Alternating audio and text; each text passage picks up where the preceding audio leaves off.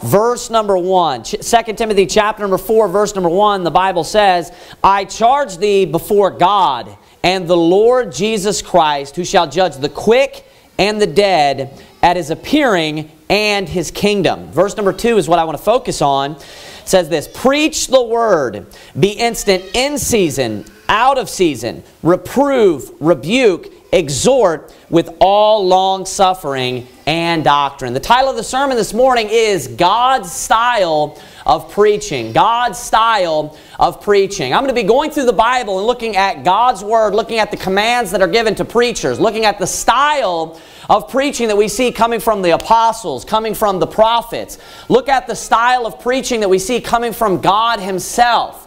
And we're going to look at every aspect of it. We want to look at all of the different styles of preaching, you know, in our minds, just kind of reflecting back on what we've seen. And we want to figure out what is the correct style of preaching.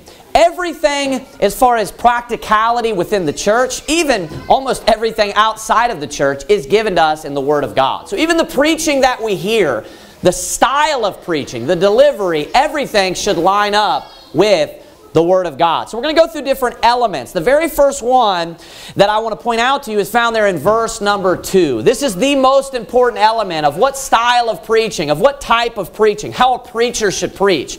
Look what it says, the very first three words in verse number 2. It says this, Preach the Word. Now this is not just Paul's opinion. This is God using Paul as an instrument and speaking through him and giving a commandment to a preacher. If you look there in verse number 1, he says, I charge thee therefore before God. This is inspired scripture. This is God himself giving a command of how a preacher is supposed to preach. What a preacher is supposed to preach. And what does he tell him? It says, preach the word. Preach the word. Talking about preach the word of God. When a preacher stands up, he should be preaching Scripture. When a preacher stands up behind the pulpit, when a pastor gets up, an evangelist gets up, a missionary gets up, when anyone is preaching at all, a preacher should be preaching the Word. You know what that means? Is he shouldn't be preaching his own opinions. He shouldn't be preaching just his own personal beliefs.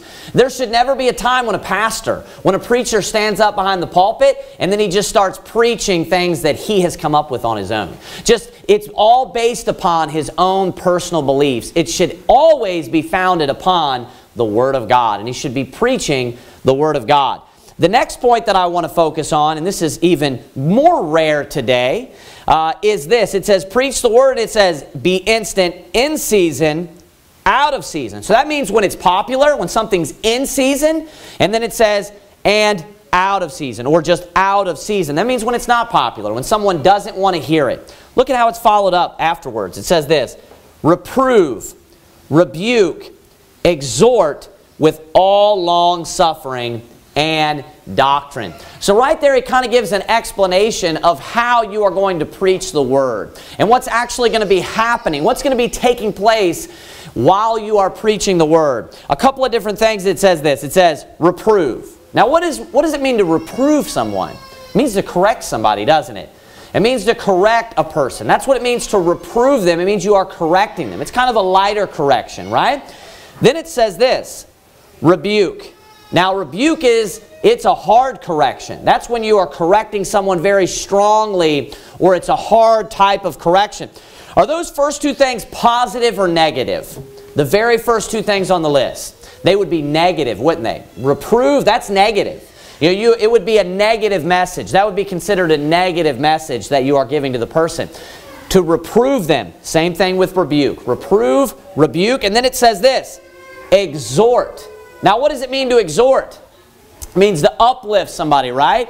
It's that's something positive. So if we look at what is being spoken of here, when it says preach the word and he gives a breakdown or an explanation of what in what way you are supposed to preach the word, he says that one way is you're going to be reproving people. What's that mean? You're going to be correcting people. Lighter correction, right? Another way is you're going to be rebuking people. What is that? That's a, that's a harder correction. That's a much more stern, stronger correction. And then the last one is exhort with all long suffering and doctrine. So there is supposed to be positivity in preaching, isn't there? There's supposed to be times where we're exhorting. There's supposed to be times where a preacher stands up and he edifies, where he uplifts. Exhort means to kind of push someone or encourage them uh, uh, uh, primarily. It means to get them to do more than what they are doing right now. That's what it means to exhort. If you're exhorting someone, you are encouraging them to do more. But what I want to focus on in what is lacking today in preaching, this is the next point. Number one, it was preach the word. The second point is negativity. There is a lot of negative things. We need to be preaching the full content of the Bible, the positive and the negative. Now, if we look at the majority of preaching that goes from the pulpit today, is it positive or is it negative? It would be positive. It would be almost entirely positive. I know that I've experienced this in a lot of the churches that I've sit in, a lot of the preaching that I've just listened to, is that the majority of what you hear when you're, when you're hearing or listening to preaching is what? It's just almost all positive, isn't it? It's just positive constantly. If we look at this list of what a preacher is commanded to preach, two-thirds of it is negative.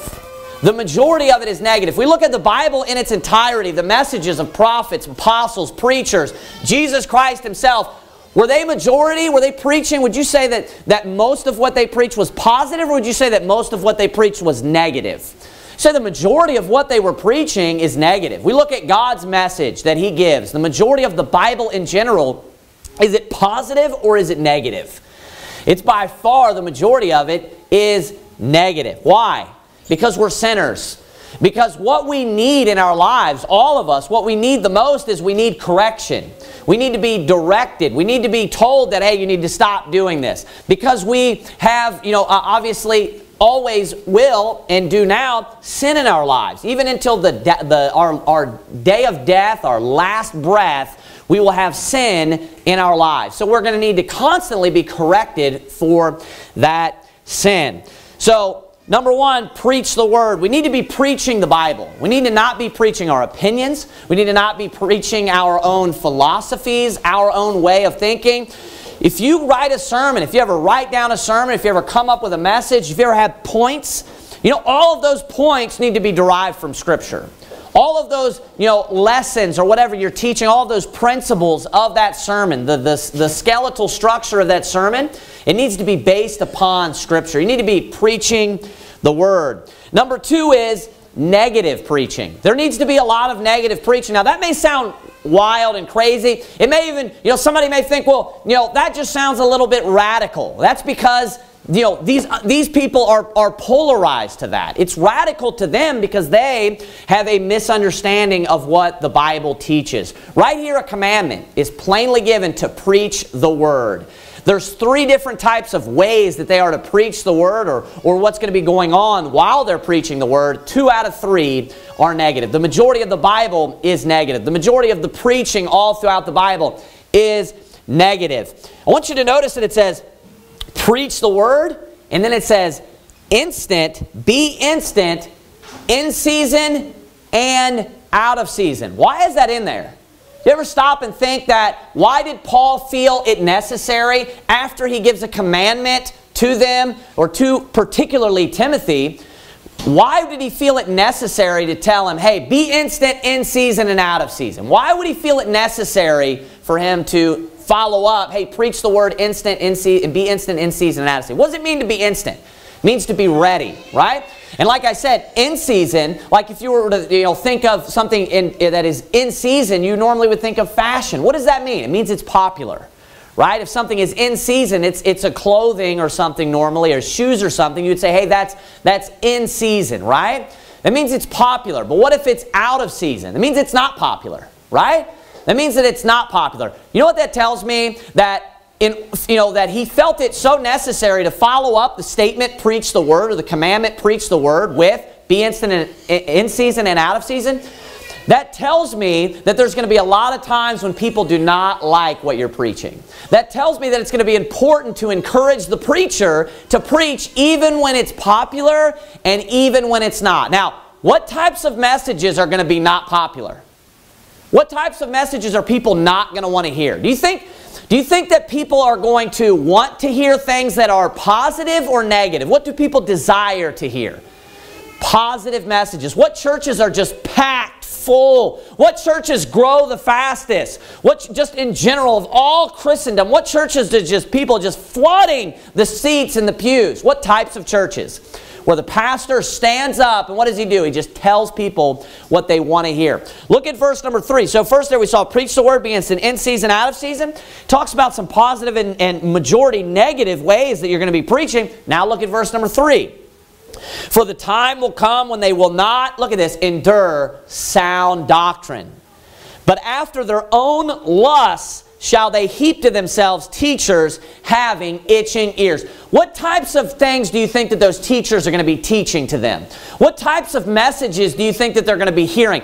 What types of messages do you think that they don't want to hear? Maybe the reproofs. Maybe that's what Paul is talking about to Timothy. Maybe he's saying, hey, there's going to be a time when people are going to come when they're not going to want to endure sound doctrine, but they're going to heap to themselves teachers having itching ears. What types of preachers and teachers do you think are going to be teaching?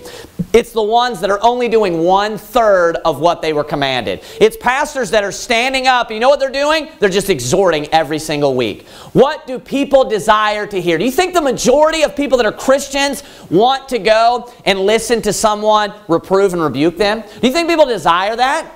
Of course not. In our flesh, we would, we would hate that. Of course, our pride would, would oppose that and push that back, right? But you know what we need as Christians? You know what we need from now until the day that we die? We need to be corrected by God's Word. Why? Because we're sinners. And we're always going to be sinners and we're always going to have sin in our lives. Sound doctrine, sound doctrine oftentimes is being corrected. You know, we think of, you know, doctrine and we think, oh, it's just, you know, deep teachings on the book of Revelation and things like that. No, no, sound doctrine, uh, right here when this is referring to sound doctrine, it's talking about being reproved and it's talking about being rebuked and, of course, exhorting.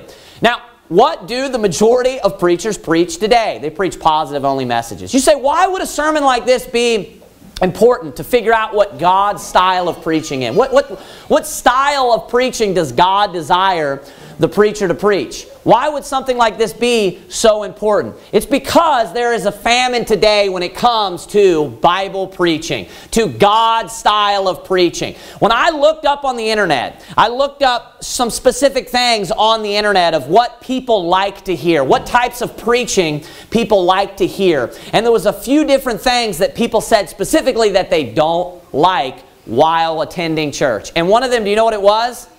Specifically, and these are on Christian websites, not being corrected all the time. That was one of the things that people said repeatedly on mainstream Christian websites and forums, and, and there was articles that were written, and I read, I think, three of them total. And you know what they kept saying? We don't like being corrected constantly. They use words like, we don't like being bashed. I don't go to church just to be bashed the entire time. That is what a pastor is commanded to do. Now, they want to, of course, try to demonize it by using the word, you know, bash. But what a pastor is commanded to do is to stand up and to preach the Word of God. My job is not to try to find out the individual problems and to stand up here and just preach against, you know, individuals. But my job is to preach the Word. And it is from Genesis to Revelation. And it is when it's popular and when it's not popular. And it is to reprove and rebuke and exhort with all long suffering and doctrine. That is the job of a pastor, whether you like it or whether you don't.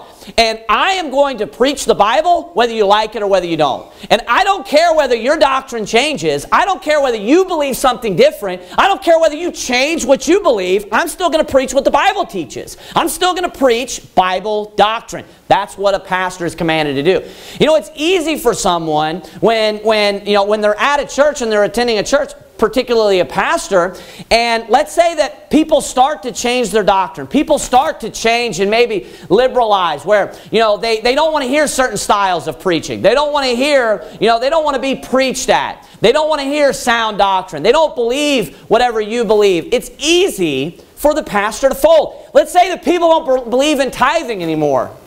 That's a, a, the reason why I attended a church where, you know, the pastor believed in tithing, but nobody in the congregation virtually believed in tithing.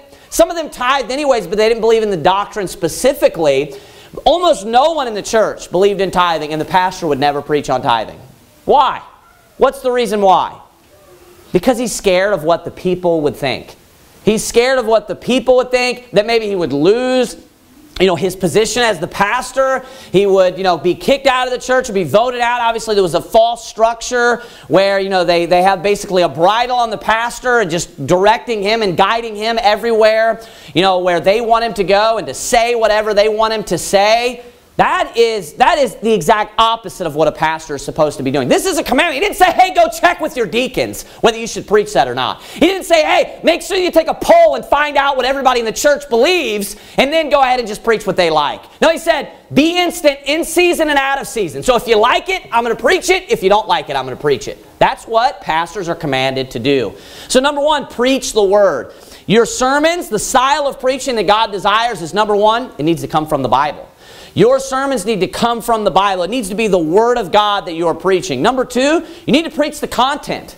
That, needs, that means you need to preach the positive and you need to preach the negative. I want you to turn with me to 1 Kings chapter number 22, verse number 7.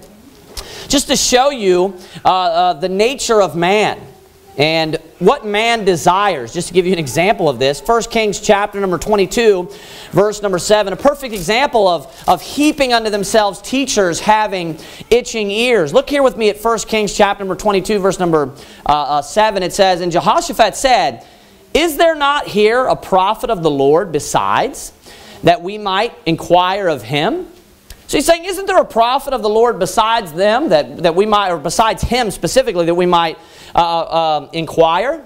Or of this group of prophets that they had brought in. They brought in a bunch of prophets and, and he hears them preach and you know, he realizes like, oh, they're just, you know, whatever it is. He realizes they're false prophets, but something, you know, isn't right with what they're preaching. So he's like, hey, isn't there a prophet of the Lord besides? that we might inquire of him. Isn't there another one besides all these guys that we might ask him what he says? And then look at verse 8. And the king of Israel said unto Jehoshaphat, There is yet one man.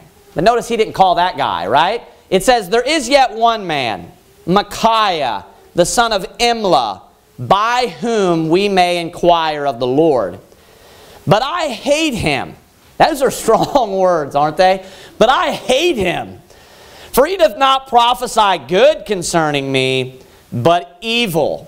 And Jehoshaphat, Jehoshaphat said, Let not the king say so. And then he says, Hey, you know, bring him in. Notice what Jehoshaphat says. So what types of, of prophets did he have there preaching only? Did he only bring in the guys just to like preach the negative messages? No. Notice when it talks about people heaping unto themselves teachers having itching ears, what types of prophets and preachers are they going to bring in? It's going to be people that are just going to tell them what they want to hear, right? That's what talks about. It says itching ears, right? Itching ears is just after their own lust, like it says there, right? It repeats it. It's just tell me what I want to hear. I have desires, right? You're itching because you just want to hear it, right? It's just the desire to hear things that are what? Positive about yourself. Positive to you. Not, not correcting you, not negative. Why did he not like Micaiah? He says, For he doth not prophesy good concerning me, but evil. He doth not prophesy good concerning me, but evil. What's he saying? He just preaches to me bad things. He just preaches to me bad things. Do you know what we needed to hear? Do you know what the king needed to hear? He needed to hear a negative message. Do you know what Micaiah was doing? He was preaching evil or he was preaching bad or negative things is what we would say. That's how we would word that. That's what it means evil, right? Ill things. He was preaching negative messages because they were true. That's why. He was preaching negative things because they were true. And you know who doesn't want to hear negative preaching the most? People that need it the most. Do you know the people that don't want to hear? Do you know who needs to hear negative preaching the most? Or all these people that are like, hey, I don't, I don't want to go to a church and just sit there and just be bashed the whole time. I don't want to go to a church and somebody just sit there and preach at me the whole time. I don't want to be preached at. You'll hear people say this type of stuff. I don't want to be preached at the whole time that I'm in there. The people that hate the negative preaching the most are usually the people that need to hear it the most. You know why? Because they're, they're just like the king here. King Ahab is who this is. They're just like King Ahab, and they have sin in their life, and they're avoiding the negative preaching because it bothers them because it's true, and it makes them feel guilty. A lot of times people hear this type of preaching, they'll hear negative preaching and where people are reproving and rebuking, and they just, you know, they have a stiff neck, a hard heart, and they oppose it. You know why? Because inwardly they know that that's the type of preaching they need. They know that what someone is saying is true. They know that whatever that person, that preacher is preaching is true, and it bothers them. But let me make this point before I move on any further. We shouldn't just preach negative messages just to preach negative messages. We have, to, we have to build upon these points. Why should we preach negative messages? Because we're preaching the Word. We should not just try to just always preach a negative message. We should not just try to, to, to, just be negative or to come up with our own negative things or just, you know, we need to also make sure that we're not way, you know, off balance over here where we're only preaching negative messages. We need to preach a moderate, you know, amount of the Word of God. We need to be just preaching the Word of God moderately. We need to preach it, you know, in season and out of season and all of it. We need to preach the positive and we need to preach the negative. We need to preach the Word of God. Don't just preach negative messages to preach negative messages, but preach the Word of God. Preach the truth. The next point is we need to preach all the words. All the words. Go to Jeremiah chapter number 26, verse number 2. Jeremiah chapter number 26, verse number 2. Now, there are some, specifically, we, we could point out some Baptist pastors. There are some Baptist pastors out there who preach negative messages. Most, I would say most Baptist preachers and pastors preach negative messages, especially independent fundamental Baptists. They'll preach negative messages. But you know what they won't do is they won't preach all of them. You know what they won't do is they won't preach all of the Word. They'll choose and they'll pick out what they want to preach and what they don't want to preach. But we as pastors and preachers, we are supposed to preach all of God's Word. A pastor, the style of preaching, you know, that's some hard preaching right there. I'm knocking people out of their seats, right? The, a pastor, the style of preaching that he's supposed to preach is everything. He's supposed to preach all of the Word of God. Yes, there's positive, there's negative. And you need to preach the positive and the negative. But you know what else you need to do? You need to not only, you shouldn't just go in and pick and choose the negative. People have no problem with preaching the positive. But when you look at the style of sermons, the types of sermons, and specifically the topics and subjects that pastors preach on today, do you know what sermons are usually missing from that pastor's list? It's never the positive. You know what he doesn't preach on? Negative. Now, he may preach negative sermons, but you know what he won't do? He won't preach all of the negative topics. You're supposed to preach the word the instant in season and out of season. That's all of it. You don't pick and choose what you want to preach. You just preach the word. Is all of this the word of God or not? Everything in this book. All of it is. You know what you need to be doing? You need to be preaching all of it. Look at Jeremiah. We'll see this in the book of Jeremiah. Look at Jeremiah chapter number 26. Look at verse number 1. In the beginning of the reign of Jehoiakim, the son of Josiah, king of Judah, came this word from the Lord, saying, Thus saith the Lord, Stand in the court of the Lord's house and speak unto all the cities of Judah which come to worship in the Lord's house all the words that I command thee to speak unto them. And then notice what he says diminish not a word. Now, when we read this, we need to pay close attention. We need to think, what's the reason why he emphasizes, I want you to speak all the words, all the words that I command thee to speak unto them. And then he, he follows it up with another statement. He says, diminish not a word. So don't even remove a word. What's the reason why he's telling him that? What would be you know, what would be the tendency for someone to do that? I want you to put yourself in Jeremiah's shoes. Is Jeremiah sent there to preach a positive or negative message? Very negative, isn't it? Very negative. This place is going to be destroyed. You're all wicked as hell. You're being punished for your sin. It's an extremely negative message. You know what he's doing? He's supposed to go to the temple and stand at the temple where there are hundreds, probably yea, thousands of people coming in and out and worshiping God and sacrificing and doing all different types of things. And he's supposed to just stand outside and just preach this negative message. Just stand out there and just preach I mean, extremely, just, uh, uh, you know, a severely negative message. Can you imagine having to do that yourself? Would you or would you not be nervous to do something like that? Well, there's just people coming in and out, and you're just standing there just preaching all this negativity. You know, thus saith the Lord, you know, uh, uh God is going to destroy this city, just like how Jonah was preaching all these negative messages and everything that Jeremiah had preached that, hey, we're going to be going into captivity. There's a king coming from the north. You know, just go ahead and give up. You know, because of your evil and because of your sin, just go ahead and give up right now. Do you think he wanted to preach that message? Of course not.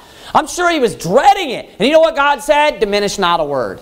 Because you know why he told him that? Because you know what the tendency for Jeremiah to, to do would be? He's going to leave some things out. What is he going to leave out? Negative things. He tried to make it sound not as rough, not as bad, not as negative, wouldn't he? He tried to, you know, you know, uh, trim the trim the message just slightly. so that he could gear it you know, towards the people in, in a little bit more of their liking. Try to make it taste, make it a little bit more of a palatable message, right? What do pastors today do? What do they try to do? They don't preach all the word. You know, even independent fundamental Baptists, they don't preach all of it. They pick and choose. And you know what they always leave out? They leave out the negative part. They leave out the negativity. Look over at Jeremiah 36, 20. I want you to notice that he commands this to him a couple of times. Jeremiah chapter number 36, verse number 20.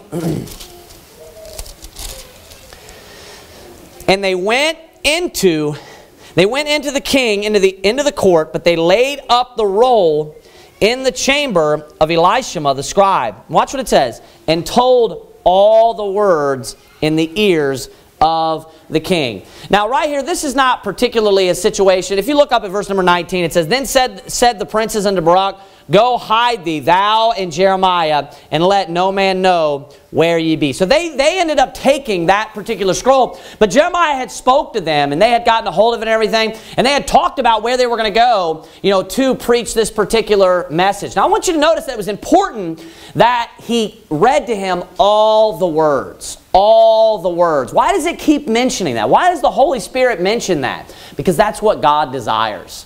God was pleased with all the words being read to the king. He wanted the king to hear everything. He wanted the king to hear everything. Do you know what God wants the people to hear? Everything. He doesn't want pastors to be picking and choosing. He wanted Jeremiah to go there and to preach everything, positive and negative. Now, did the king receive the message in this case? This is, the, this is the situation where he takes the roll afterwards. While they're in the middle of reading it, takes a penknife, it says, slices it in half, and then throws it into the fire. He didn't want to hear the message. You know what? A lot of people aren't going to hear, want to hear the message. There's a lot of people that are going to you know, uh, uh, push back when you preach on something that's negative. But you know what a preacher needs to do, a pastor needs to do? He needs to preach all of it. That is God's style of preaching. He wants you to preach the word.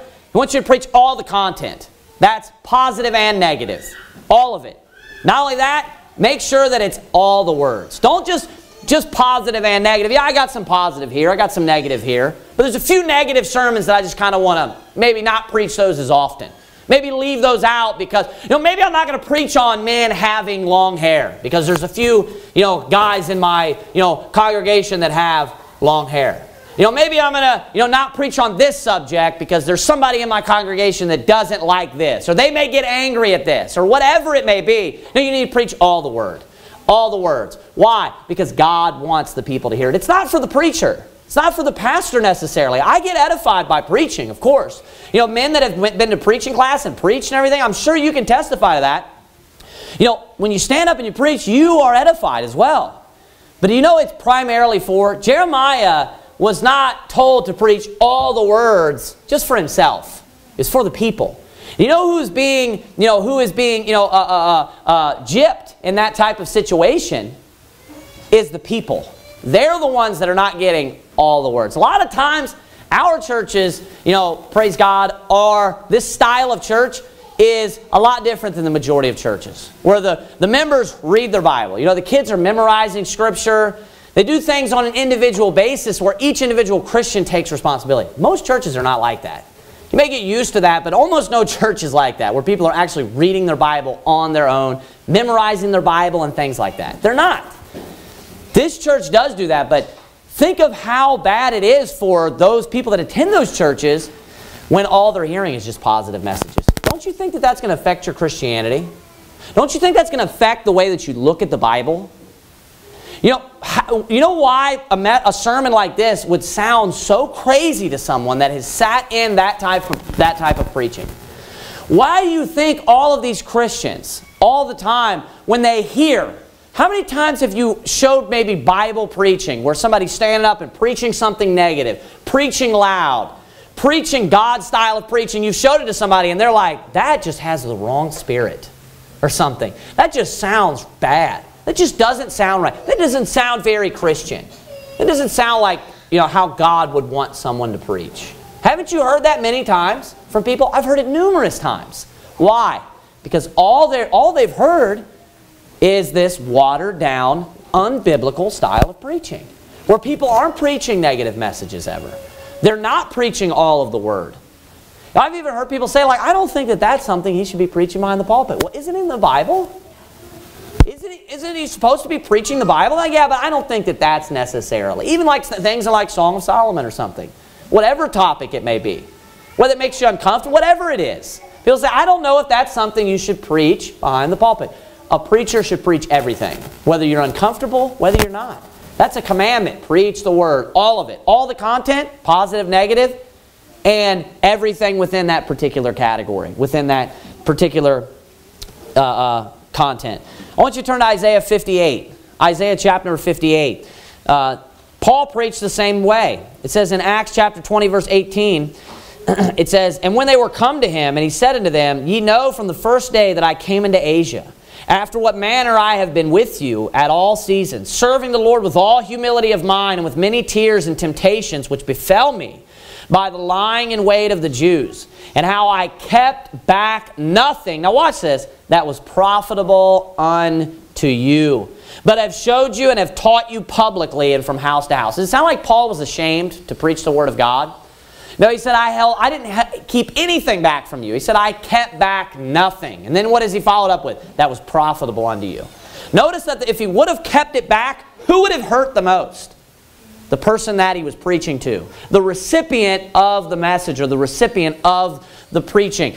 And then notice he follows up and says, but have showed you and have taught you publicly. Why would he say publicly?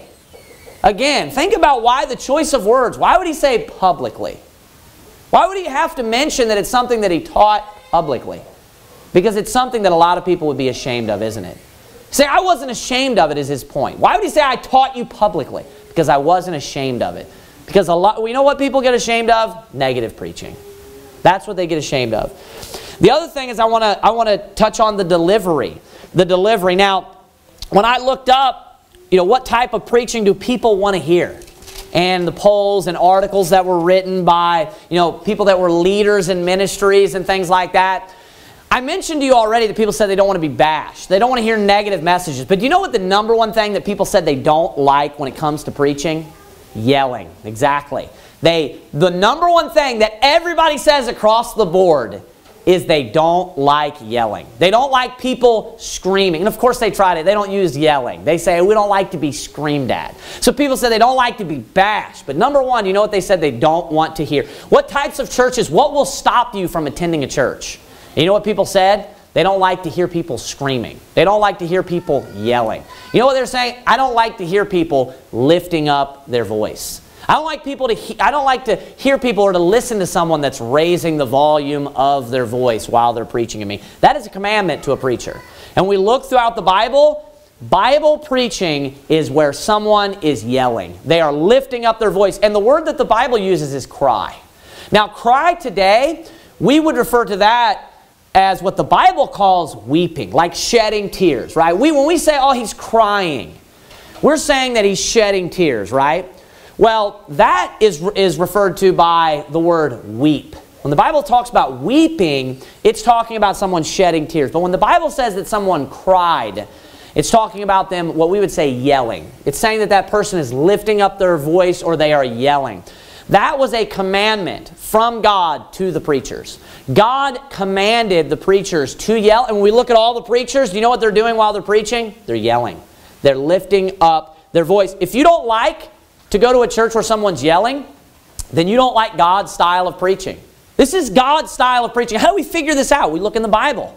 How did God command the preachers to preach? You wouldn't have liked Isaiah's preaching.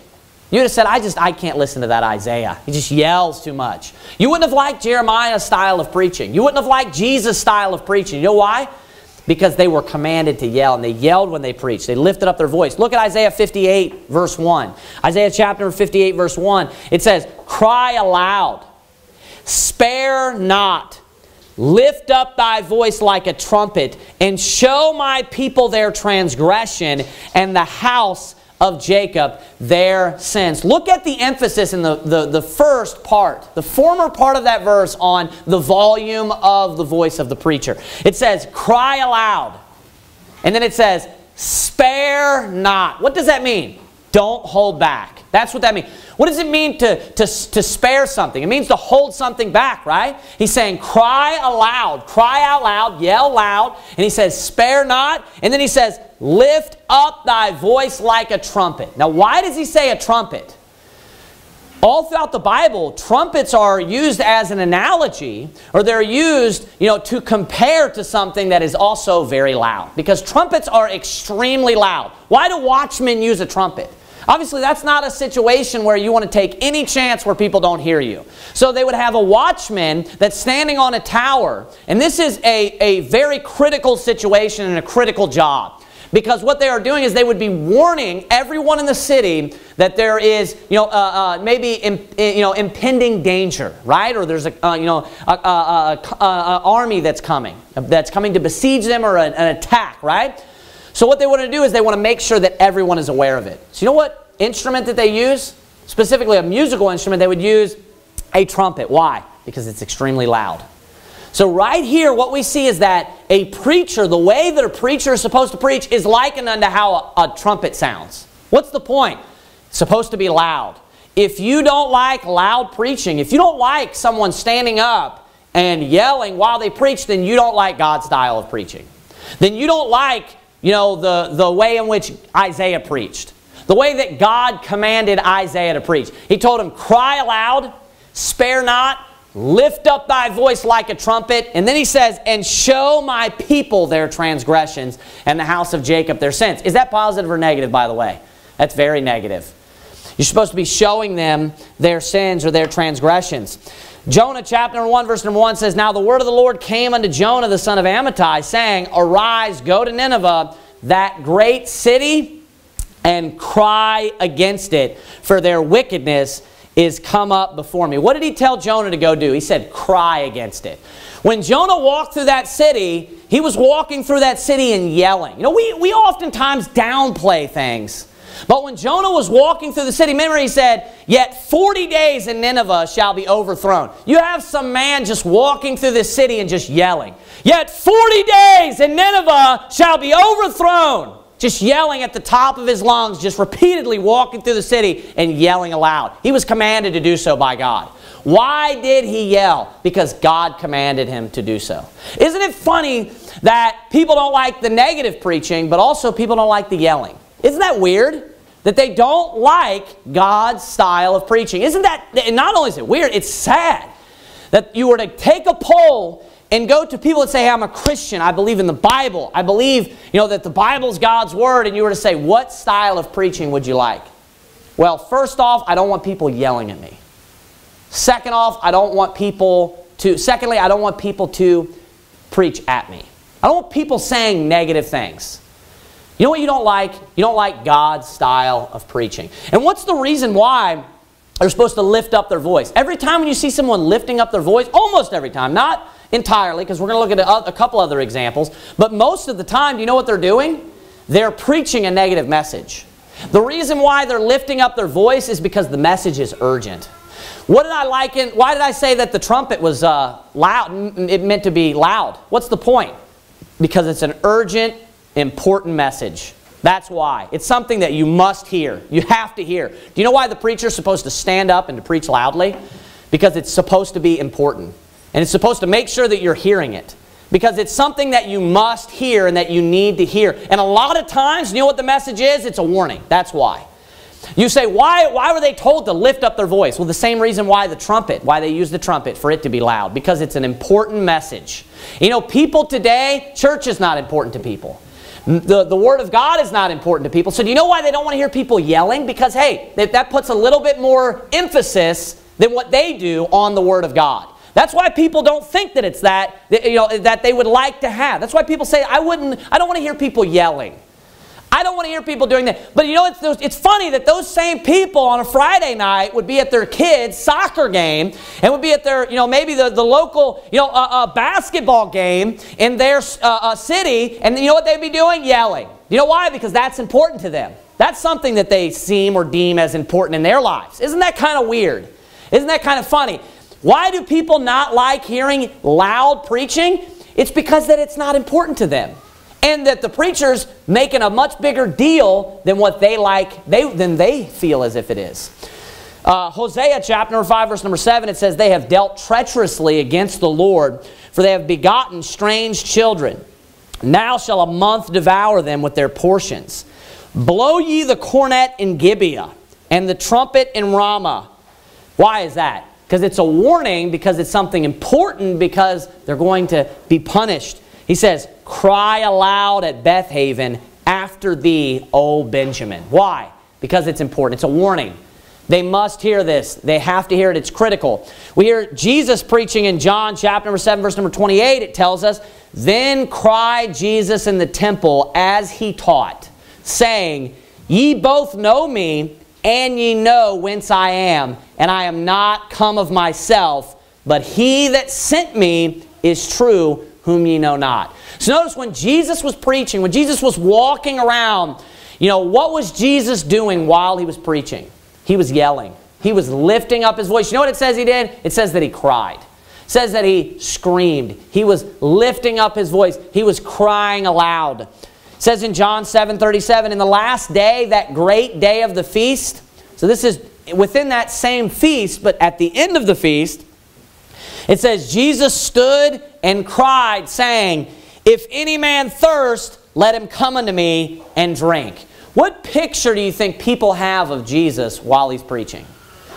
The majority of what I've seen of pictures when I was in Sunday school, paintings and things like that, the most common picture that sticks out in my mind, just because it's the most common picture, is when Jesus is seated on uh, uh, the where he's located at the Sermon on the Mount.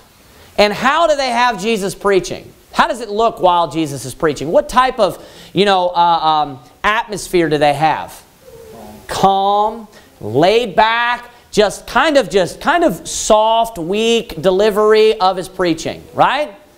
And he's just, you know, just basically just preaching just like how you would think of like a Lutheran, right? You've probably seen how Lutherans, how Episcopalians will preach, you know, and they'll just stand up behind the pulpit and say, Thus saith the Lord. And it's just this soft, weak, weak style delivery, isn't it? You know, that's not how Jesus preached. When we're told how Jesus, now I'm sure there was certain messages that Jesus preached calmly. But if you ever seen, you know, a picture of Jesus where it's like Jesus is like screaming? You know, his face is like, you know, no, this, does that even, doesn't that even sound awkward or odd to you? That's the, it's because you've seen all these paintings. Those things like get embedded into your mind when you see these pictures, you know, and, and visuals are something that's super hard to get out, right? You know, that's why you need to be careful of things that you put in front of your eyes because it's, it's like it, it's, you know, it's infused into your brain after that. But notice that two times here, what does it say that he did? He cried. What does it mean? He yelled. He's yelling while he's preaching. And it says, If any man thirst, let him come unto me and drink.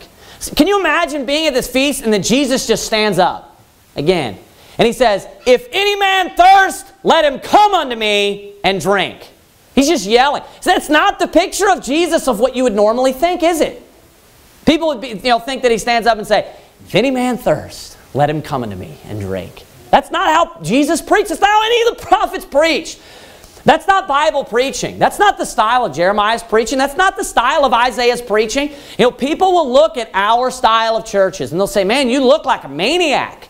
You look crazy. You know, uh, you know, they'll, they'll take videos of you screaming and yelling, and they're like, what is wrong with this guy? I've had so many, and I speak loudly virtually the whole time that I'm preaching, and then I just lift up my voice a little bit more when I start screaming. But people will comment constantly.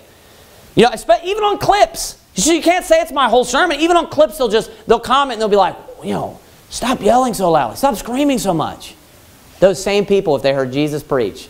Let's say that you just put Jesus like but if Jesus just came back and just, you know, theoretically just got behind the pulpit and just started preaching, and you uploaded it to YouTube, they'd hate it. They would hate it. Why? It's all the things that they don't like. Think about that. then they kind of, kind of, you know, uh, uh, uh, make the point a little bit more, demonstrate the point a, point a little bit, you know, better.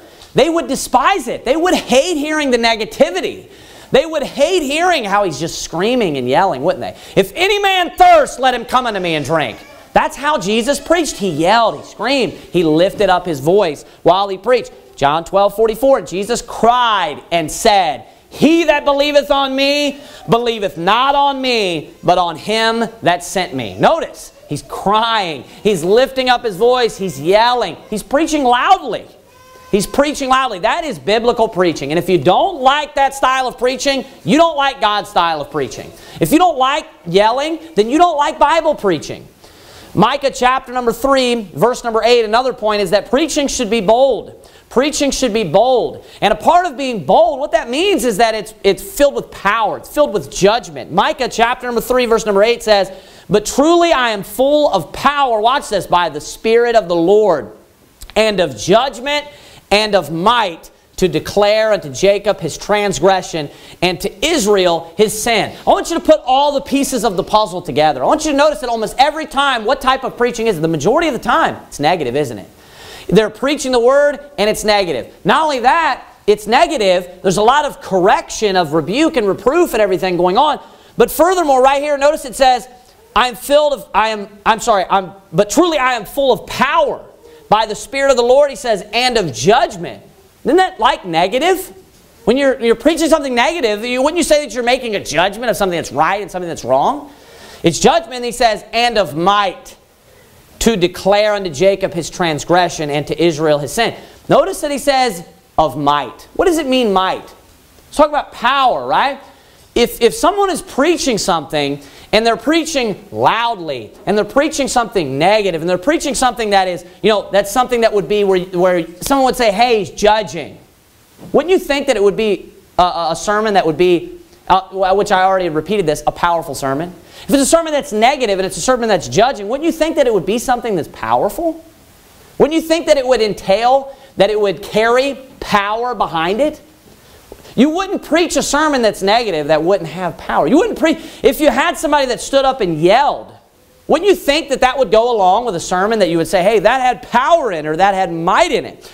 I want to look at the mannerisms. Go to Ezekiel chapter number 6, verse number 11. Ezekiel chapter number 6, verse number 11. These last two, I want to make the same point with this. Isaiah, Jeremiah, Lamentations, Ezekiel. Ezekiel chapter number 6, verse number 11. I want you to notice how all of these different commandments that are all given throughout the Bible to different preachers, different pastors, the different style of preaching, uh, uh, you know, or the different elements of the style of preaching of God's preaching, how they all go together perfectly. If you're yelling, now another thing, this is something that we're going to look at right now. I'll, I'll transition into this point right now. One of the things that people, you know, maybe wouldn't like as well and it would make perfect sense, is right here what this is uh, commanded in Ezekiel chapter 6, verse number 11. Thus saith the Lord God. It says this, Smite with thine hand, it says, and stamp with thy foot. Now look at what style message he's preaching. And say, Alas, for all the evil abominations of the house of Israel, for they shall fall by the sword, by the famine, and by the pestilence. What style of preaching is he preaching right now? Is it positive or negative? What type of message? Extremely negative. Now I want you to notice that was it was it you know an option? Was it optional for Ezekiel to follow what is being told right here? It says, "Thus saith the Lord God." This is a commandment from God, isn't it? This is speaking to Ezekiel. He's been sent forth to preach a message, and notice what it says. It says, "Smite with thine hand." What does it mean to smite with your hand? It means to hit something. To smite something means to hit something. It would mean to hit, right? To smite. If someone in the Bible is, is has, you know, if someone smites someone, it means that they hit them. So he's saying, smite with thine hand, right? And then he says, and stamp with thy foot. It would be like stomping is what we would say. And stomp with thy foot. Let me ask you something. Does that sound like that goes along with the style of preaching in the majority of Christian churches today? I want you to think of, you know, the, the pastor of just the, you know, the typical, the perfect, we always think of it's just this brand of Cornerstone. Cornerstone Christian Church. And the style of preaching that, that you know, I don't know what th that guy would have his name like Chris. You know, Chris would deliver. What style of preaching would Chris deliver? I mean, he's got a glass pulpit. He definitely can't be hitting his pulpit. But, you know, he's, he would be giving like a weaker style of preaching, right? It's just all exhorting. It's just all you know, positive. Let me ask you, does smiting with your hand, I want, I want you to blend all of these things together and look at the style of preaching and how they all fit perfectly together. Can you imagine Chris standing up with his Sunday morning sermon. He's got his, his microphone with a little bead on the end of it, right? He's got his skinny jeans on, probably a pair of New Balances or Air Max or something like that. And he normally is wearing a flannel. Most of the time, I think he tucks it in, kind of folds it up to about right here, you know? What style of preaching would he be doing? Be positive, wouldn't it? Can you imagine trying to incorporate the smiting with your hand and stomping with your foot? Can you imagine that trying to even force that into that style message? You know why? Because they're two totally different styles of preaching. Because Cornerstone Christian Church, or, you know, uh, what's the, um, there's Elevate, but what is the one that I was like, that one time when somebody yelled it out, I was like, that sounds like a nightclub. What is it? What was it? 1122. It sounds like a nightclub. It does. It sounds like a nightclub. Like it would be downtown, in the middle of downtown, 1122 and lights and everything. That, you know, the style of preaching that 1122 is going to be having, there you will not see the pastor of 1122 smiting with his hand or stomping with his foot. Do you think that when Ezekiel was preaching this that he's just like, what is he told to say? Alas, alas for all the evil abominations. You think that that's how he's delivering his message? Alas for all the evil abominations of the house of Israel. You think that that's how he's doing it? Thus saith the Lord God, will destroy the whole city. Looks ridiculous. It doesn't go together. Do you know how he said it? Alas for all the evil abominations of the house of Israel. Thus saith the Lord, yet 40 days and Nineveh shall be overthrown. It'll be destroyed, the whole city. That's Bible preaching. That is Bible preaching. If that makes you uncomfortable, man, can you imagine having to go out there and listen to Ezekiel?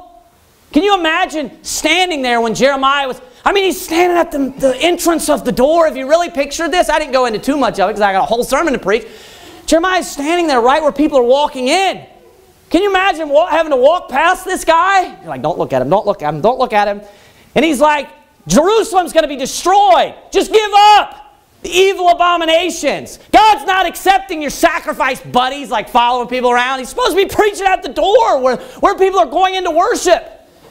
And he's just yelling at people and preaching. This is Bible preaching. You know what he would be called today? Oh, this radical Bible thumper. I would never go to that guy's church. I don't want to hear somebody yelling at me.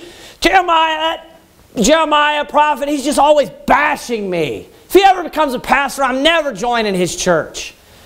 Do you know what you could see Jeremiah doing when you read his preaching? Smiting with his hand and stomping with, with his foot. You know why? Because it fits in. Do you know what you could see Jesus doing while he's crying? smiting with his hand and stomping with his foot. If any man hunger, let him come unto me. If any man thirst, let him come unto me and drink. Because he's crying aloud. You know, notice how all of these things, when you incorporate them, they paint a perfect picture. You know what it doesn't do? It doesn't fit with Chris at 1122. It doesn't fit with his style of preaching. You know why? Because it's not God's style of preaching. But when you put all of it together, it makes perfect sense, and it, and it paints a perfect picture. And you know what the point is? Do you know what it, do you know what it does when I start yelling? You know, I could tell when I, when I just a moment ago, when I was, you know, acting, you know, uh, uh, what word could you, was delicate, soft, delicate and fragile and effeminate. Watch it. No, I'm just kidding. Effeminate, right? And, and uh, you know, I'm, I'm pretending like Chris. And then I out the pulpit and I looked up and started pointing, Elliot, I think, needs to change his pants. It, you know what it did was it got a hold of everybody's attention. His face, he was laughing before, and then all of a sudden he was like this. And was looking at me. That was one thing that I noticed. He was, he was staring right at me and paying attention. You notice that? He's listening to what I'm saying. You know why? Why does God want you want preachers to yell? Because it's important. Because I, want he wants to make sure that everyone hears and that everyone's listening. Because the message that's being preached is the Word of God. You know what it deserves? It deserves attention. Do you know what happened? When not only because I was yelling, but when I spiked the pulpit, you may not be paying attention, but if I hit this pulpit, you're going to perk up real quick. Do you know why? Because this is an important message. You know what somebody be telling you? What does a teacher do when everything's just in disarray? And she's like, children, listen, listen. And they're just throwing paper airplanes and they're just spitting spit wads and messing around. And then she's like, children. What is she trying to do? Get their attention. I have something important to say to you. Do you know why? God said, think about it. All is practical. Remember I said in the beginning? Why does he say smite with thy hand and stomp with thy foot? What message is he trying to get across? A negative message. It fits. But you know what else? It's important. Because it's negative, you need to make sure that you hear this. Why is it important when Jesus said, when he cried? Because obviously it's an important message. All of God's word is important. It says, if any man thirst, let him come unto me and drink. Because salvation is important. Because the, the salvation of your soul the eternal destiny of your soul is important. So Jesus stood up, it says, because he wanted to make sure that everybody saw. It. Kind of like smiting with your hand gets your attention, doesn't it? If you're standing in a feast, guy stands up out of his seat and just starts yelling, you know what's going to do? It's going to get your attention. But if he started walking back and forth, like Chris does on the pulpit, kind of twisting around back and forth, it's people fall asleep in that kind of service all the time, wouldn't they? It wouldn't keep your attention. It wouldn't grab your attention in the same way. You know? If he's just walking back and forth. Just kind of just real, it's like meant to put you asleep almost. Just like a calm, and that's what that kind of atmosphere that they want. Almost like he's like flipping around like he's got flip-flops on. How they go back and forth when they turn when they get to the end. It's, it's an effeminate type of manner. It's, it's meant to be soft and weak. Jesus was not soft. Jesus, to most Christians out there, Jesus is not who you think he is. He's totally different than how you think he is. And, and, it would be it would just be so amazing if if there was some like just maybe just a small recording for this purpose. Obviously God probably I'm sure wouldn't have desired that. But if was if we could just have like a like a visual of exactly how Jesus preached and just show it to people like this is Jesus. Most people will be like that's not the Jesus I know. That's not that's not Jesus preaching. That's some kind of impostor. Jesus would never act like that. Jesus would never preach that way. The, we're supposed to preach plainly. I'm going to go through a couple other points real quick, and I want to get to one other thing. We're supposed to preach plainly. 1 Corinthians chapter number 4, verse number 7 through 9 says this, And even things without life-giving sound, whether pipe or harp, except they have a distinction in the sounds, except they give a distinction in the sounds, how shall it be known what is piped or harped? For if the trumpet give an uncertain sound, watch this, who shall prepare himself to the battle? So likewise ye, Except ye utter by the tongue words easy to be understood. How shall it be known what is spoken? For ye shall speak into the air. You know what he's saying? Speak plainly. There's a phrase one time, I used this in a, in a sermon uh, uh, past when I was preaching in Arizona, where when, they, when Saul is looking for the asses, and he goes to Samuel, Samuel, and the Bible tells you he told him plainly, like the asses are found or something like that. But it says he told him plainly. You know, that's how a prophet should speak. That's how a preacher should speak. Someone that's preaching the Word of God. How did he know that? He's preaching the Word of God. The Word of God is plain. That's why a lot of people don't like it. It's very plain. It's in your face, right? And it, it's just very forward. It's, it, it just, it leaves no, you know, uh, uh, there's, it makes no bones about it. People make that statement. That guy, when he speaks, he just, you know, there's, you know, he just speaks plain. That's how the Bible is, and that's how preachers are supposed to preach. They're supposed to speak and to preach plain and clearly, and it, they should be easy to understand. I shouldn't be, after you preach, trying to, to figure out what you believe, even if we're talking doctrine. Like if somebody stands up and preaches on, you know, uh, the timing of the rapture, I shouldn't be like confused like, is he saying pre, mid, you know, post? Like, what does this guy believe? It should be clear because God wants you to know what his word is. He wants you to know what the Bible says. A lot of its warnings, a lot of its doctrine, he wants you to hear it and to know it and to be able to respond to it. We're not supposed to be just hearers of the word, but doers also. So how can we do things? How can we put things into practice and respond to the preaching if we don't even understand what the preacher's saying? So it's important that it be clear. A lot of that is offensive preaching. offensive because it's negative. The Word of God is likened unto a weapon. Why? Because it's offensive. Hebrews 4.12, For the Word of God is quick and powerful and sharper than any two-edged sword, piercing even the dividing of sunder of soul and spirit and of the joints and marrow, and is a discerner of the thoughts and intents of the heart. The Bible is offensive. It's likened unto a weapon, not a shield, mind you, an offensive weapon because it's very offensive. There are things in the Bible that offend me. There are things in the Bible that offend you. You know, why? Because we're sinners and we need to be corrected. We need to be you know, uh, uh, reproved and rebuked. So it can be very uh, offensive. Not only that, I want to hit this point and then one other. Uh, a lot of things in the Bible. Go to 1 Kings chapter number 18, verse number 27. This is one of those things that people don't understand about biblical preaching. They're very, they're very, there's a famine when it comes to biblical preaching. They're very confused about what is actually Bible preaching. A lot of things in the Bible can be crude. The Bible uses crude language. Crude is kind of like the word rude, right? When someone speaks crudely, oftentimes that person speaks plainly, and, and people would even sometimes say that it's inappropriate. That would kind of be, in a way, how crude would be interpreted. It would be something that you, uh, something crude would be, this is a perfect example, the word piss. If you were to say that, like, let's say that there's what people say mixed company or something, you have a bunch of people over your house, and somebody stands up, right? And, uh, you know, like, where, or your son, he goes to the bathroom or something, and he comes back, and, and then somebody asks you, what happened? He's like, oh, he had to just go take a piss. You know, somebody would say, that's kind of crude, wouldn't they? That's kind of an example of, of something being crude. This may confuse people, but the Bible, very, very often, is crude. And it's, it's, it has rude style language very, very often. The style language that the Bible uses is very crude. It's not this just perfectly tailored, you know, just like eloquent in the sense of just like, it's, oh, it's for the elite style language, how you would think of that. Of the, how, the only way that, that the Bible's written just for the, how the scholars would speak and that's not the style of the Bible. Even Paul said in 2 Corinthians 11, 6, But though I be rude in speech, yet not in knowledge. But we have been throughly made manifest among you in all things. I want you to look at the, the prophet Elijah here in 1 Kings. Look at 1 Kings chapter number 18, verse number 27. And it came to pass at noon that Elijah mocked them and said, Cry aloud, for he is a God. Either he is talking, or he is pursuing, or he is in a journey.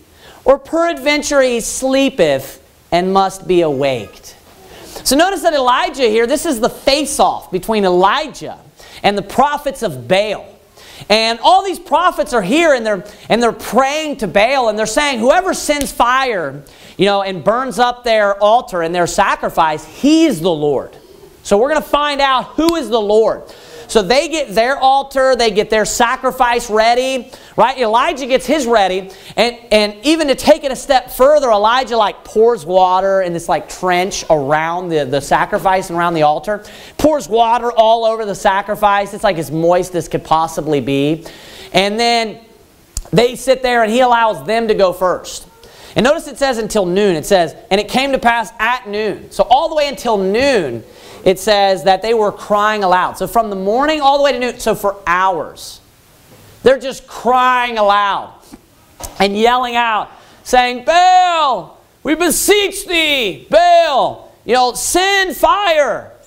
To, to, we offer this sacrifice unto thee humbly, Baal. And they're just you know, continually yelling out.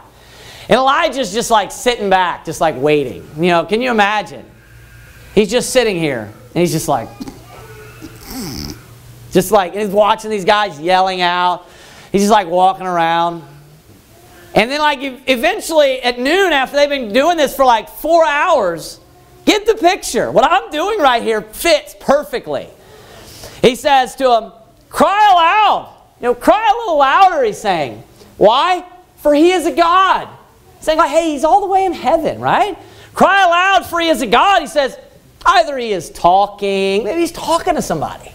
Either he is talking or he is pursuing. Maybe he's like going after something. He's trying to go get something. Maybe he left for a few minutes, right? He's pursuing something. He is pursuing, he says, uh, or he is on a journey. Maybe he went on a journey. That's why he can't hear you.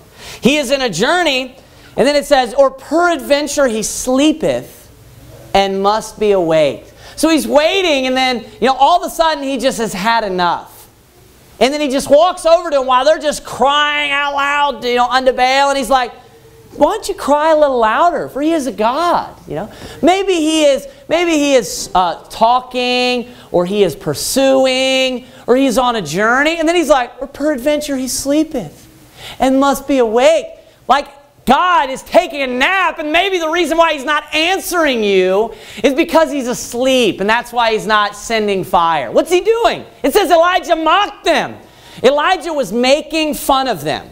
This is, Elijah is like one of the greatest men of God in the entire Bible. He is, he is easily top five greatest men of God. The miracles that he does, God took him to heaven. God, and that only happened with one other person. God took him to heaven. When the prophets come back, everybody agrees at least one of them is Elijah. You know, he's going to be one of the men that come back. You look at just how he's fed, how he's taken care of. He's mentioned in the Bible, and they're like, who's Jesus? Well, I mean, he's Elias or maybe Jeremiah. So they even thought maybe he's Jesus was Elijah. Why? Elijah was a great man of God. You know how he operated? He mocked false prophets. He made fun of false prophets. He mocked them and made fun of them. And that's funny. My daughter and I, like a few years back, we would always laugh about that. And, and, and we would like say that about like other you know, religions and stuff like that. And make fun of them, the same way that Elijah did. Maybe he's sleeping and he must be awake. Can you imagine watching this? It doesn't fit in with what a lot of people say. Would you ever watch like one of these Bible stories? And you think that they would have Elijah walk over to him and mock him? And like make fun of him? Like the prophets of Baal are over here and they're just like, hey, maybe you need to yell a little louder so you can wake him up from his sleep. Oh, is that at all how you imagine this? Not even at all, but that is Bible preaching. So you say, hey, I don't think you should mock people or make fun of them. I'm just using a passage where it actually uses the word mocked. Where it actually says he mocked them. There's tons of other times where prophets mock people. And they're like making fun of and laughing at the stupidity of false prophets and things that they're doing. God says that he mocks people. Elijah's making fun of them. So if I were to like, what would people say if I made fun of Joel Osteen? If I mock like Joel, like I wrote this comment one time on this picture of Joyce Meyer, and uh, I can't remember how Jessica saw it. Maybe she like got into my phone or something. I had a notification. Like I was just scrolling through Facebook. I saw this this picture of Joyce Meyer, and she's like smiling, and I was like something. I don't remember what it was, but I was like I wrote something on there about her looking like the Joker. She's got this huge smile, and she's got all this you know makeup on. And it got like tons of likes, but you know, it got a lot of, com I kept getting notifications from that stupid thing because everybody's like, bam, bam, bam. Not all of them were people liking it though. A lot of people were like angry faces. And you know what a lot of people commented, the people that put the angry faces, you know what they said? It's not very Christian of you. It's not very nice of you. Oh, you call yourself a Christian? And people were like creeping my profile, like, you're supposed to be a pastor? Because it says pastor of Valiant Baptist Church. You're supposed to be a pastor? That's, it is biblical to mock false prophets. Oh, I'm not just trying to justify what I do. We do this because the Bible does this. I preach the way that I preach because that's the way the Bible says to preach. I yell because the Bible says yell. I preach everything in the Bible, whether you like it or whether you don't, because God commands me. Hey, there are people actually out there that actually do care about what the Bible says. Whether you understand it or not, whether you've been so numb to people out there just preaching what they want to preach or trimming the message or preaching the style of preaching that everybody wants, there are still people out there and pastors that pray to God for boldness and pastors that desire to stand up and to preach everything in the Bible. Hey, the tendency is there. Hey, don't preach on that. The tendency is there to, hey, preach on things that people will like. Preach on things that, you know, gets views on YouTube or that will keep members and things like that. Yeah, the tendency's there. You know what God says? Preach the word. You know, the tendency's there for everyone to give into the flesh and to do what you would need to do to, to maybe grow the church or things like that that would be important in certain areas. Of course, that's important. And how do you escalate it? Why do people, great men of God, fold in situations? You know, they stop preaching to grow the church, to preach things that people would like, to be popular and everybody like you and keep coming to the church. So I'm not trying to justify things. It's biblical to mock false prophets. There are people out there that really love the Lord and, and strive to love the things that He loves and hate the things that He hates. And like David said, I hate every false way. I hate hearing false doctrine. I hate hearing, I hate seeing Jehovah's Witnesses out there. I hate seeing women preachers standing up and preaching false doctrine and preaching false things. I hate that. Even if a woman's standing up and preaching the Bible correctly, it's commanded against. It's forbidden according to God's word. I hate seeing things like that. It makes me even more angry that she preaches a false gospel. She preaches all types of garbage. She deserves to be mocked, you prophet of Baal. I'm not, you know, I'm not trying to be popular. That's not what I'm trying to do. I don't care whether people like me even slightly. That's not on my radar. That's not what I'm trying to do here. I'm wanting to preach the Bible. I'm wanting to please God. That's what I'm wanting to do. I'm wanting to do, I, you know what I want? I want God to be, I want to preach God's style of preaching. That's what I want. I want to preach the way that God wants me to preach. Go to Matthew 23 and let's end there. Matthew chapter number 23. I want to just go through, I want to read this. I'm not going to have time because I've went on a little bit too long already, but I'm not going to have time to go through this, but I want you to look at how Jesus preached. Matthew chapter number 23. Verse number 1 Then spake Jesus to the multitude and his disciples, saying, The scribes and the Pharisees sit in Moses' seat.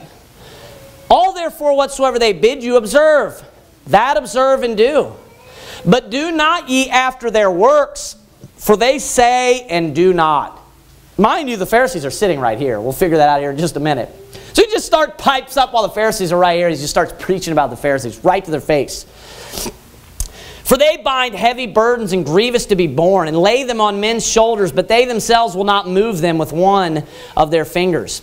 But all their works they do for to be seen of men. They make broad their phylacteries and enlarge the borders of their garments and love the uppermost rooms at feasts and the chief seats in synagogues and greetings in the markets and to be, call, and to be called of men rabbi rabbi but be not ye called rabbi, for one is your master, even Christ, and all ye are brethren.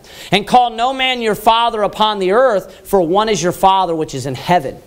Neither be ye called masters, for one is your master, even Christ. But he that is greatest among you shall be your servant. And whosoever shall exalt himself shall be abased, and he that shall humble himself shall be exalted. But woe unto you, scribes and Pharisees, hypocrites! For ye shut up the kingdom of heaven against men. For ye neither go in yourselves, neither suffer ye them that are entering to go in. Now, I wanted to end with this, and I want to put this in your mind real quick, but like I said, I can't uh, uh, uh, illustrate, I can't go into this point to illustrate it too much. Everything that we saw of God's style of preaching, I want you to imagine that here of what's being spoken and what's being said. Does it fit the way that Chris at Cornerstone preaches? Does it fit the way that the Lutheran priest preaches when he stands up and they read their liturgical, you know, phrase or whatever for the week? They go over the liturgy and how they just stand up real calmly and, you know, everything is just, you know, uh, uh, just meticulous and super clean and, you know, they set the, the cracker on, the, on this pillow and people come down and give it to them. Hey, you are my Lord and go back up. That is, it's just, that's not the type of overly tailored type of Christianity. You know what this fits? Someone screaming and yelling, smiting with their hand and stomping with their foot and preaching a negative message. Look at what it says. But woe unto you. That's a curse. But woe unto you, scribes and Pharisees, hypocrites. For ye shut up the kingdom of heaven against men, for ye neither go in yourselves, neither suffer ye them that are entering to go in. Woe unto you, scribes and Pharisees, hypocrites, for ye devour widows' houses, and for a pretense make long prayer. Therefore ye shall receive the greater damnation. You think he's saying, therefore ye shall receive the greater damnation? Do you think that that's how he's preaching? Now, I've seen things of even Matthew 23 where he's preaching against the lawyers. He's preaching against the Pharisees. What they do? You know how they have him preaching? Therefore, ye shall receive the greater damnation. He is not just speaking to these people. There's a reason why the King James Bible translators put an exclamation point there. It's obvious and clear. There's no, there's no interpreting. He's yelling. No one in the Bible, he's not standing up there saying, Woe unto thee, but saying it like this Woe unto thee. Scribes, Pharisees, lawyers, He's yelling at them. He's lifting up his voice at them. If he's lifting up his voice just to say, you know, if any man thirst, let him come unto me and drink, he's yelling when he's saying this. Look at what he says further. Woe unto you, scribes and Pharisees, hypocrites, for ye compass sea and land to make one proselyte, and when he is made, ye make him twofold more the child of hell than yourself. These are strong, stinking words. This is probably the strongest sermon, either this or Ezekiel 16 in the entire Bible.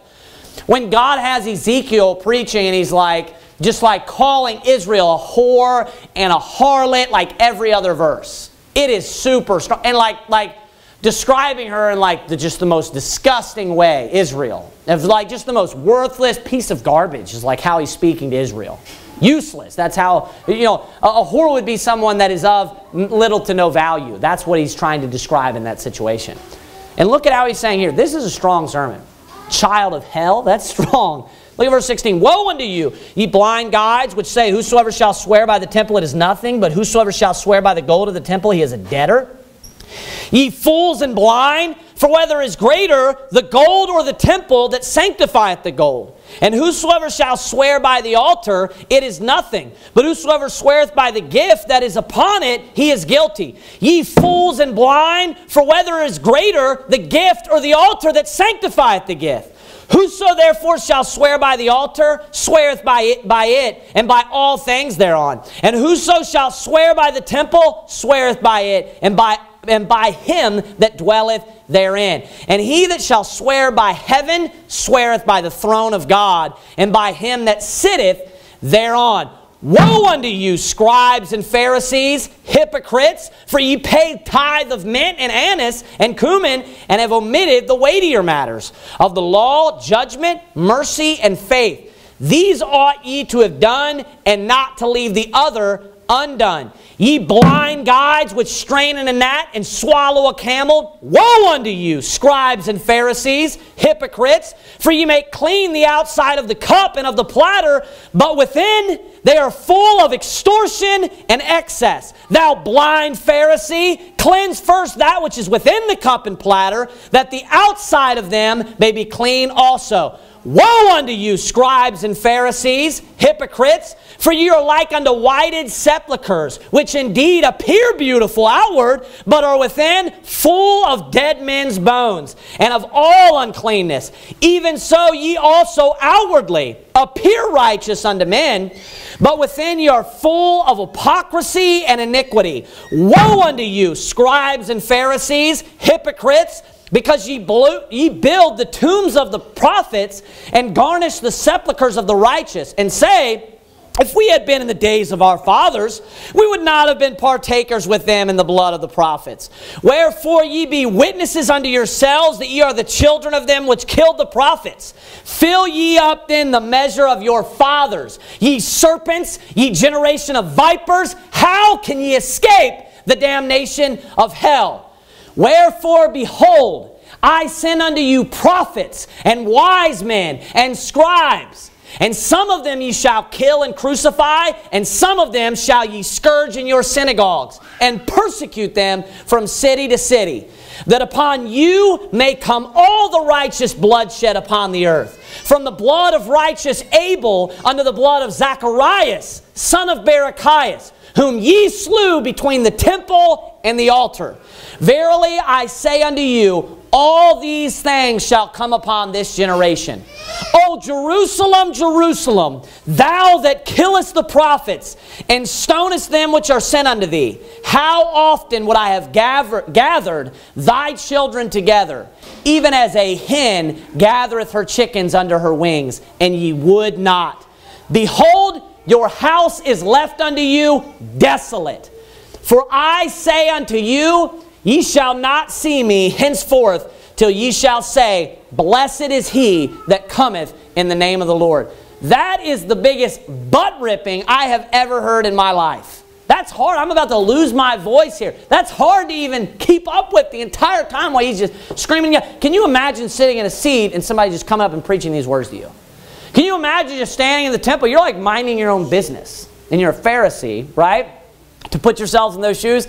And then all of a sudden he stands up and he like begins like it's funny like he's God in the flesh, but you still think of like how this took place. He just like walks in, it's like then spake Jesus to the multitude and his disciples saying. So he like walks in and he's like the scribes and the Pharisees like he looks over at them and then he just starts preaching about them. That's the Jesus of the Bible. Think about that. That's how he was. And there was a lot of mocking going on there too. You could see a lot of facetious, like sarcastic statements. Like, hey, you tithe. Talking about how he mocks on them like them, they're tithing on like every little piece of mint. Like you got like this one little, like, you know, little bud of mint, right? The little plant of mint. And they're like, ah, 10% of that. Ah. He's like trying to point out how petty they are. It's meant to be facetious and to like mock them. You know, this is Bible preaching. How I just preached that How do you think, who do you think would deliver that message better? Chris or Pastor Baker? Seriously, think about the, the delivery. It's not the same. What is Bible preaching? I want to preach how Jesus preached. Honestly. I want to hear that. You know why? Because God knows best. This type of message, you know the types of message that Chris preaches, he couldn't yell. Think about that. That's what I'm doing for you in this whole sermon. I'm putting it all for you together. Why are the mannerisms there? Why is the content mostly negative? You know, the smiting with your hand, stomping with your foot goes with a negative message, doesn't it? You know what else goes with it? Lifting up your voice. You know, you know, correcting someone, preaching judgment. You know, boldness doesn't go with that type of like false humility. That's what all of these like, these like the cornerstone church, it's like this overly pathetic false humility. It's just where it's fake and it's phony. You know, this is biblical preaching. I want a preacher to preach how Jesus preached. And notice I read it that way to demonstrate to you that's, that's God-style preaching. I wanted to end here with the, with the epitome of that. We saw God like commanding people, preach the word, instant, in season, out of season. He told Isaiah, cry aloud, spare not. He's telling, you know, preach negative messages. He's saying, he's telling Ezekiel, smite with your hand and stomp with your foot. He told Jeremiah, preach all the words. Don't leave anything out. That's God commanding. But then God's com God comes and he's born. You know what he did? He did all those things. When he preached, that's God-style preaching. That's the way you are to preach. And the last thing I want to say real quickly is some people say, hey, you know, well, that was, that was just for the prophets. You're not a prophet. Number one, everybody preaches that way. Number one. Number two, they're meant to be ensamples unto us. They're supposed to be our examples or our ensamples. Not only did the prophets preach that way also, but the apostles preach that way. Look at some of the messages that Paul preached. Look at some of the things that Paul said. Look at some of the messages Peter preached. Look at how Peter's standing there ripping the Jews a new one. You know, look at all of these things. And then the, we see the command there, preach the word. Not only that, all scripture is given by inspiration of God and is profitable for doctrine, for reproof, for correction, for instruction in righteousness. This is how we find out how we're supposed to preach. Jesus came to be an ensample unto us. He's the chief shepherd. And we should try to follow his examples. And all shepherds and all pastors should stand up. You know what kind of preaching we need? God-style preaching. Jesus is preaching. Isaiah is preaching. Jeremiah is preaching. Elijah is preaching. You know what? Sometimes it's crude. Sometimes it's hard to swallow. It's a big pill. Sometimes it's, it can be irritating and annoying. I understand that. I've sat there and listened to it, but it's God-style preaching. We should desire to hear and have the right heart, God-style preaching. Let's bow our heads and have a word of prayer. Dear Heavenly Father God, we thank you for your word. We thank you for your example, dear Lord. We thank you uh, for just correcting us and uh, uh, pricking us in the heart with the word of God. I ask you that you would help me to be a good pastor, to preach what you would want me to preach, to care for those uh, that are the sheep in this church. I ask you that you would be with us and guide us and direct us. Dear Lord, I ask you that you would uh, uh, uh be with our church, help us to grow, dear Lord God, and uh, help us to reach out and, and help our main focus to be reaching the lost and preaching the gospel.